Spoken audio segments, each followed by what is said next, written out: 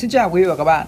Và hiện trên tay mình đang là một trong những sản phẩm bán chạy nhất trong thời gian vừa qua, Oppo F1s Và Pico cũng nhận được khá nhiều ý kiến của khách hàng về việc là có nên lựa chọn sản phẩm này Hay là những thắc mắc về ưu điểm nổi bật gì mà Oppo mang đến cho sản phẩm lần này.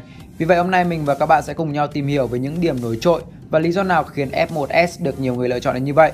Ưu điểm đầu tiên cũng là thứ để lại ấn tượng rất lớn, Đó là vẻ ngoài phải nói là rất sang trọng.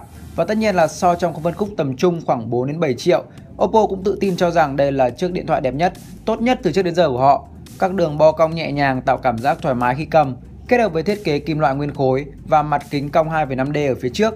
Đi kỹ một chút thì kể cả các giải nhựa ở mặt sau cũng được làm rất thanh mảnh, cùng với màu bạc sẽ làm cho chiếc điện thoại của chúng ta sang trọng hơn rất nhiều. Và nếu như lướt qua thì có lẽ ai cũng sẽ có cảm giác là F1s khá giống với iPhone 6s, trong khi giá chỉ bằng khoảng 1 phần 3.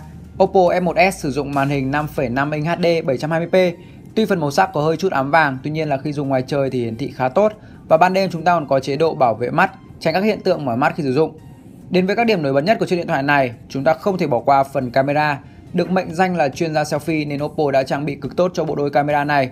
Camera sau 13 megapixel tích hợp bộ xử lý ảnh Pure Image 2.0, độc quyền của Oppo mang lại nhiều trải nghiệm thú vị và nhờ khả năng lấy nét và chế độ Ultra HD, chúng ta sẽ có những bức ảnh trở nên sắc nét hơn cả những gì mắt thường có thể nhìn thấy và trong điều kiện đủ sáng, tốc độ chụp rất nhanh và dễ dàng lấy nét. Với camera selfie 16 megapixel khẩu độ f2.0 thì kể cả khi thiếu sáng, chiếc điện thoại này cũng vẫn có khả năng làm mịn da người dùng. Thêm vào đó là thiết bị còn trang bị nhiều tính năng chụp hình thông minh như nhận diện giọng nói, vẫy tay bắt ảnh hay 7 cấp độ làm đẹp riêng với bộ lọc màu cực đẹp. Và điều quan trọng ở đây là Oppo đã định vị được đúng tập khách hàng của mình. Thiết kế đẹp, camera tốt và chiếc camera phone này có lẽ cực kỳ thích hợp với nữ giới. Ngay từ cái tên gọi là Selfie Express đã nói lên điều đó rồi. Và có lẽ cũng bởi chính điều đó mà Oppo không tập trung mạnh vào phần cấu hình. M1s chỉ sử dụng con chip MediaTek 6750, 3GB và 32GB bộ nhớ trong. Với những ai đam mê công nghệ thì có lẽ sẽ không đánh giá cao thông số kỹ thuật này. Tuy nhiên là với phân khúc bình dân, đặc biệt là nữ giới thì nhược điểm này có lẽ sẽ không ảnh hưởng gì cả. Thêm một điểm cộng nữa là dung lượng pin của Oppo F1s khá là tốt. Với viên pin 3075 mAh thì bạn có thể thoải mái sử dụng hơn một ngày rồi mới sạc cũng được. Và so với các dòng điện thoại tầm trung khác trên thị trường thì Oppo hoàn toàn không thua kém.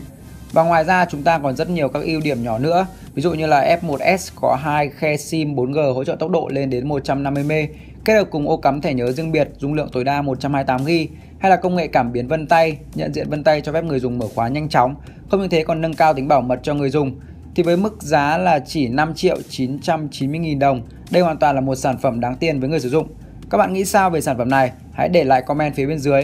Vừa rồi mình cùng các bạn đã cùng tìm hiểu nhanh các điểm nổi trội của Oppo F1s. Hẹn gặp lại các bạn trong các clip lần sau.